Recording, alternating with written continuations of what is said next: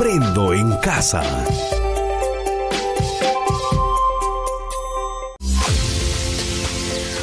Queridos estudiantes, los invitamos a participar en el desarrollo del programa educativo que hemos preparado con mucho cariño para ustedes. Aprendo en casa.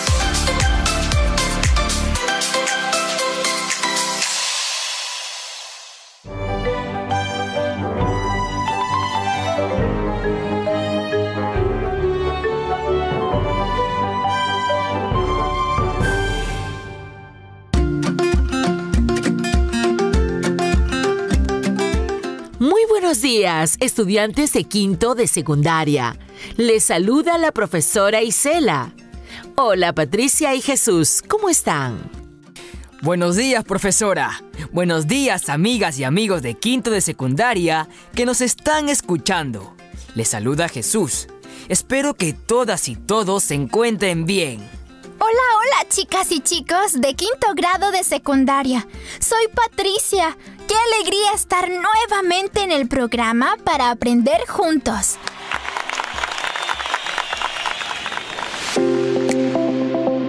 Muy bien, empezaremos revisando el portafolio con los trabajos que realizaron durante la experiencia de aprendizaje, para recordar cómo elaboraron el ensayo que presenta los logros y desafíos de nuestras comunidades frente a la salud pública y comunitaria en el marco del Bicentenario, a partir de preguntas.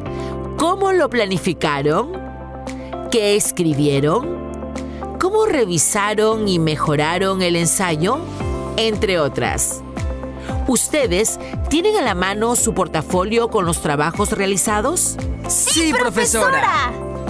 Revisen qué trabajos tienen en su portafolio. ¿Qué logran recordar al observar sus trabajos?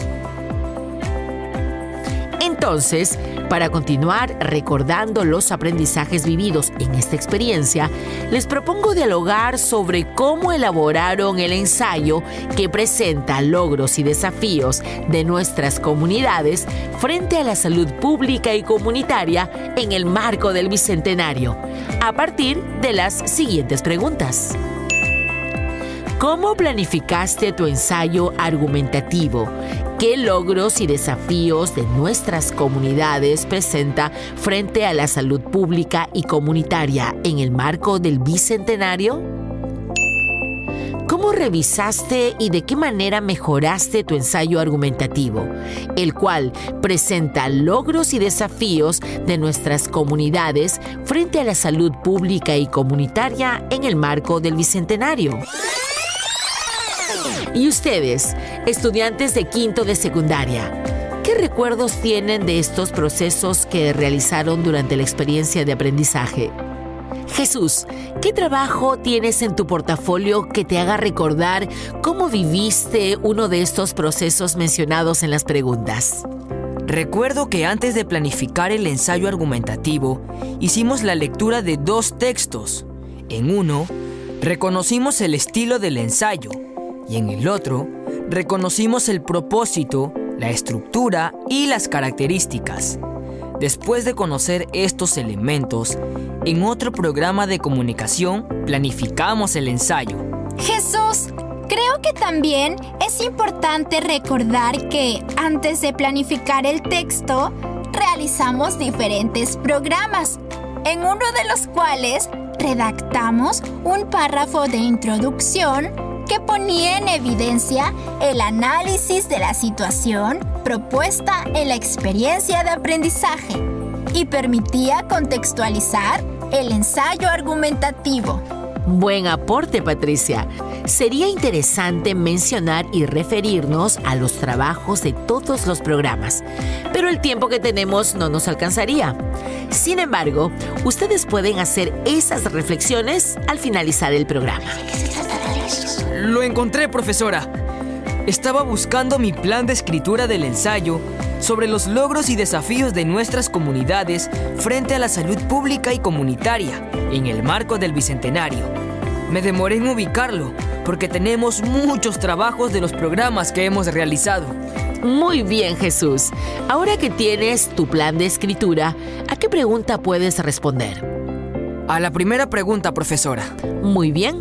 Entonces van a continuar recordando cómo elaboraron el ensayo argumentativo mediante una breve explicación. Para ello, haremos lo siguiente. Estudiantes de quinto de secundaria que nos están escuchando con mucha atención van a explicar cómo realizaron el proceso de escritura del ensayo al familiar que se encuentra a su lado o cerca de ustedes, para lo cual van a utilizar las tres preguntas que hicimos hace un momento. ¿Y nosotros, profesora? Ustedes harán la simulación aquí en el programa. En su caso, no lo harán a un familiar, sino a una amiga o un amigo. ¿Puedo elegir a mi amiga Patricia para explicarle cómo elaboré el ensayo argumentativo? Es una idea fabulosa, Jesús. Ahí van las indicaciones. Atención todas y todos. Antes de realizar la explicación, al familiar que se encuentra cerca de ti, dile que te brinde unos minutos de su atención, porque has elaborado un ensayo y te gustaría explicarle cómo realizaste la planificación del texto, cómo organizaste tus ideas que escribiste en tu ensayo sobre los logros y desafíos de nuestras comunidades frente a la salud pública y comunitaria en el marco del Bicentenario, y cómo lo revisaste y corregiste para mejorarlo. ¿Está claro? Estudiantes de quinto de secundaria, ¿tienen algún familiar cerca? Espero que sí. Profesora, está claro. A mí, Jesús me explicará cómo elaboró el ensayo y qué procesos ha realizado. Sí, amiga Patricia, me encanta la idea. Bien, Patricia, Jesús y todos los estudiantes de quinto de secundaria, veamos qué deben tener en cuenta durante la explicación. Con esta actividad, recuerden que ponen en práctica la competencia de comunicación oral. Por eso es importante que consideren los siguientes criterios. Adecúen su explicación según el destinatario. Expresen sus ideas de forma coherente para explicar cómo elaboraron su ensayo. Participen en intercambios orales, decidiendo cómo y en qué momento expresar sus ideas sobre el ensayo que elaboraron en la experiencia de aprendizaje. ¿Está claro o tienen alguna duda? Está claro para mí, profesora. Entonces, empecemos. Estudiantes de quinto de secundaria pueden empezar. Ustedes también, Jesús y Patricia, pueden comenzar.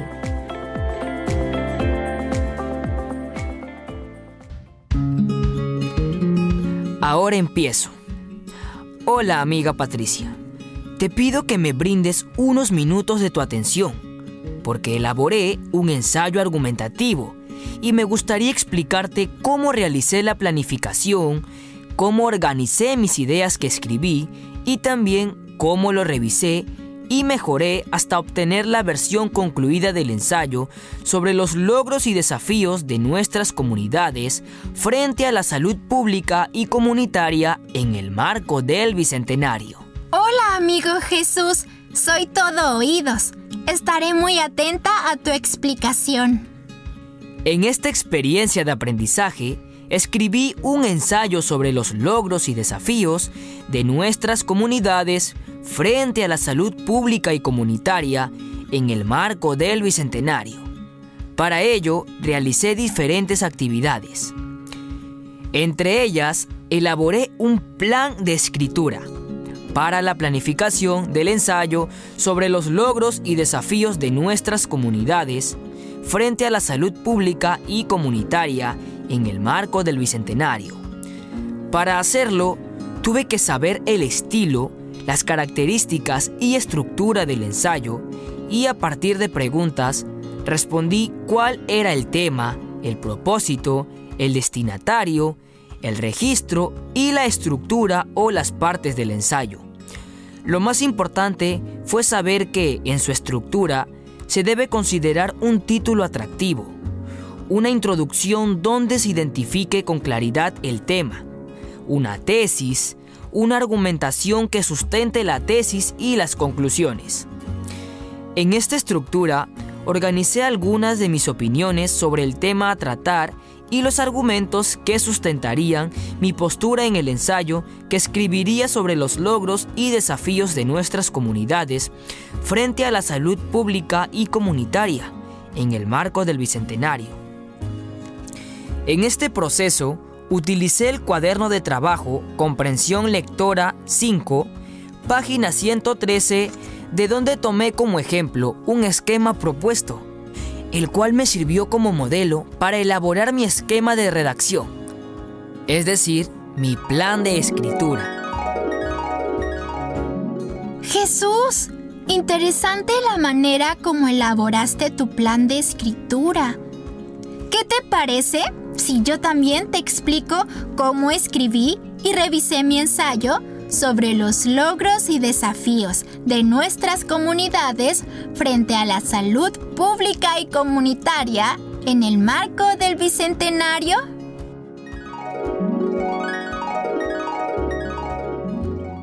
¿Me puedes mostrar cómo quedó tu ensayo? Sí, claro que sí. Pero antes de que me quede así, lo revisamos varias veces. Recuerda que no lo hice sola lo hicimos en equipo. Así que primero lo revisamos de manera individual, después en equipo y al final lo presentamos a la profesora, quien también nos dio algunas sugerencias. Luego de hacer todas las correcciones, lo pasamos a unas hojas limpias.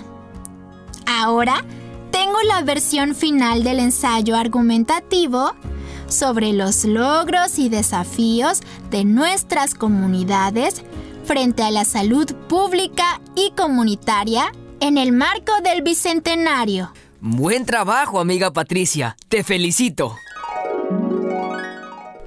Bien, Patricia y Jesús, felicitaciones a los dos. Aunque les faltó mencionar, a modo de ejemplo, algún argumento que hayan escrito en su ensayo. Eso es importante para explicar la redacción del ensayo. Estudiantes de quinto de secundaria, ¿realizaron la explicación a su familiar? En caso de que no les haya sido posible, háganlo después de concluir el programa. Fue muy interesante recordar y reflexionar sobre el proceso que hicimos para escribir nuestro ensayo, profesora. Sí. Luego de concluir el programa, creo que haré mi explicación a alguien de mi familia. Y de paso, le puedo enseñar cómo se escribe un ensayo. ¡Qué bueno, Jesús!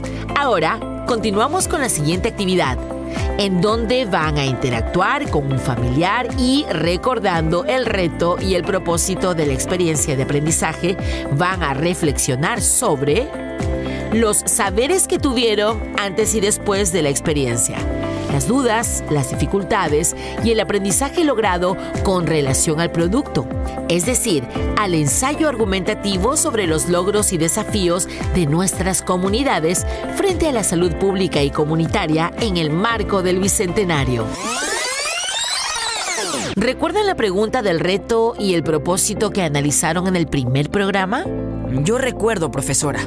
La pregunta del reto es, ¿Cuáles son los logros y desafíos de nuestras comunidades frente a la salud pública y comunitaria en el marco del Bicentenario?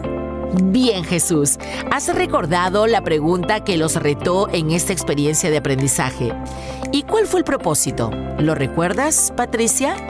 Sí, profesora. El propósito de esta experiencia de aprendizaje es argumenta los logros y desafíos de nuestras comunidades frente a la salud pública y comunitaria en el marco del Bicentenario, a partir de la revisión y análisis de diversas fuentes. Muy bien, Patricia. Teniendo en cuenta el reto y el propósito y en interacción con su familiar, van a reflexionar sobre los saberes que tuvieron antes y después de la experiencia las dudas, las dificultades y el aprendizaje logrado con relación al producto, es decir, al ensayo argumentativo sobre los logros y desafíos de nuestras comunidades frente a la salud pública y comunitaria en el marco del Bicentenario que han escrito. Eso significa hacer la diferencia entre lo que sabía antes de realizar esta experiencia de aprendizaje y lo que sé ahora que ya terminamos la experiencia Exactamente, Patricia. Pero no solo es interactuar con el familiar para reflexionar sobre el antes y el después. También deben reflexionar sobre las dudas, las dificultades y los aprendizajes que lograron al escribir su ensayo argumentativo sobre los logros y desafíos de nuestras comunidades frente a la salud pública y comunitaria en el marco del Bicentenario les propongo que, a modo de ejemplo, reflexionen sobre el antes, el después, las dudas, las dificultades y los aprendizajes logrados en la experiencia de aprendizaje. Estas conversaciones que tenemos con nuestros familiares para contarles o explicarles lo que hemos realizado en las experiencias de aprendizaje nos servirán para no olvidar lo que aprendimos. Sí, Jesús, estoy de acuerdo contigo pueden empezar. ¿Cómo harían sus reflexiones durante las interacciones o conversaciones con su familiar? En mi caso, antes de la experiencia de aprendizaje, no sabía los logros y desafíos de nuestras comunidades frente a la salud pública y comunitaria. Pero al conocer la situación significativa, el reto, el propósito y luego el producto en el primer programa, tuve conocimiento de la importancia de saber sobre este tema. Aquí me surgió la duda de por qué, al cumplirse el bicentenario, nuestro país tiene la gran batalla de salvaguardar la vida y la salud de todas las peruanas y todos los peruanos. A mí, la duda que me surgió en este primer programa fue cómo elaboraríamos un ensayo argumentativo desde el rol de historiador para investigar sobre la salud pública y comunitaria, a fin de tener los argumentos que sustenten una posición crítica sobre los hechos y procesos históricos, que ayuden a comprender el presente y sus desafíos. Pero estas dudas las fui aclarando en los programas que realizamos en ciencias sociales, porque analizamos diversas fuentes de información sobre los cambios y permanencias en el servicio de salud pública en el siglo XX y lo que va del siglo XXI. ¡Ah, sí! Pero también me sirvió mucho conocer las principales enfermedades del siglo XX y de estas primeras décadas del siglo XXI en el Perú y su relación con los servicios de salud pública. Luego, cuando reflexionamos sobre la incorporación de la medicina tradicional en la atención de la salud pública, empecé a darme cuenta de los desafíos que tenemos como país ahora que estamos conmemorando el Bicentenario. Sobre eso, para mí fue una dificultad redactar un texto para sustentar mi posición respecto a la incorporación de la medicina tradicional en la atención de la salud pública pero luego superé esa dificultad con la escritura del ensayo. Patricia y Jesús, les interrumpo en sus reflexiones que me parecen muy interesantes. Me gustaría seguir escuchándolos, pero tenemos que cortar ahí, porque esta reflexión la deben hacer con alguno de sus familiares. Estudiantes de quinto de secundaria. Es momento de empezar la reflexión en interacción con su familiar sobre el antes y el después de la experiencia de aprendizaje, las dudas, las dificultades y el aprendizaje logrado en esta experiencia. Recuerden que la reflexión la deben hacer con relación al producto, es decir, al ensayo argumentativo sobre los logros y desafíos de nuestras comunidades frente a la salud pública y comunitaria en el marco del Bicentenario. Patricia y Jesús, ¿qué recomendaciones pueden dar a sus compañeras y compañeros que los están escuchando?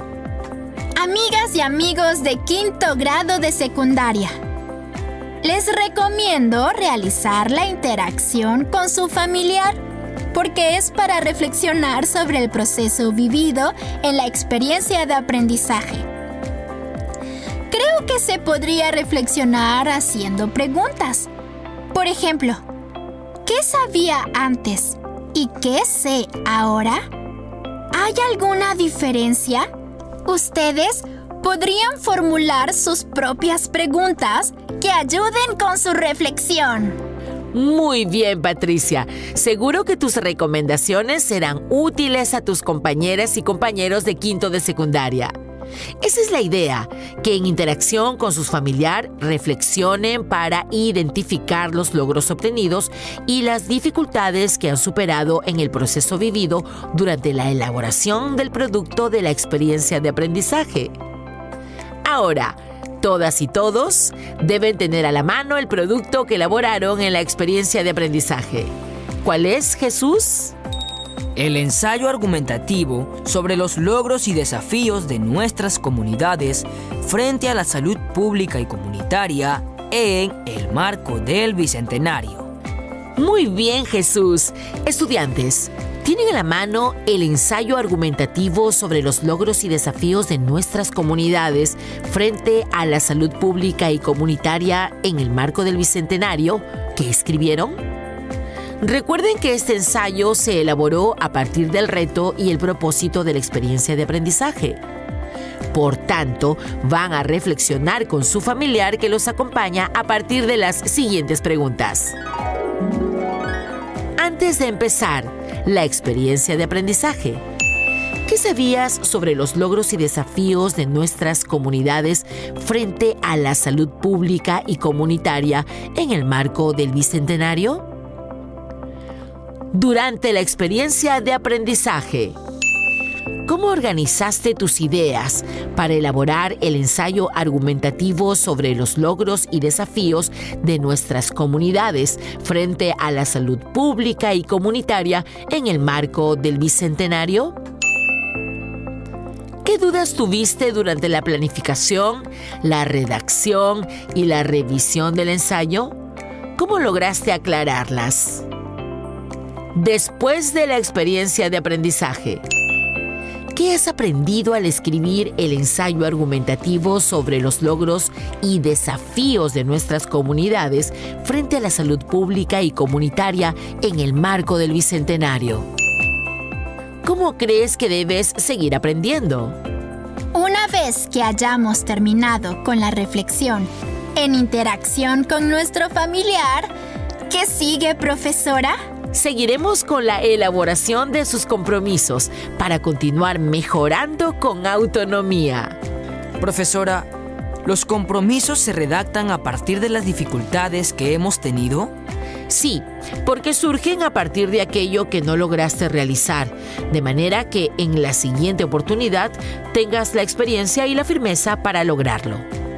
Por ejemplo, si tuviste que redactar tres argumentaciones para sustentar tu postura en el ensayo y solo alcanzaste a redactar dos argumentos, tendrías que identificar cuál fue la dificultad que tuviste, de modo que evites una situación similar que afecte tu aprendizaje. En ese sentido, tu compromiso puede ser me comprometo a seguir las orientaciones brindadas en los programas y a elaborar los trabajos asignados. ¿Cuántos compromisos se pueden elaborar, profesora? Los que ustedes crean conveniente.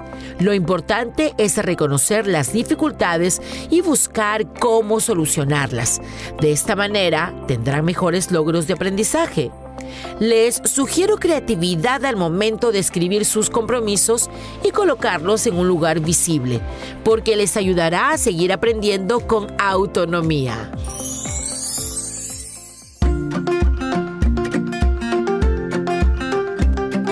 Llegado al final del programa y además al final de la cuarta experiencia de aprendizaje. Fue un gusto haberlos acompañado. Ahora sí, me despido. Hasta una nueva oportunidad. Gracias por escucharnos.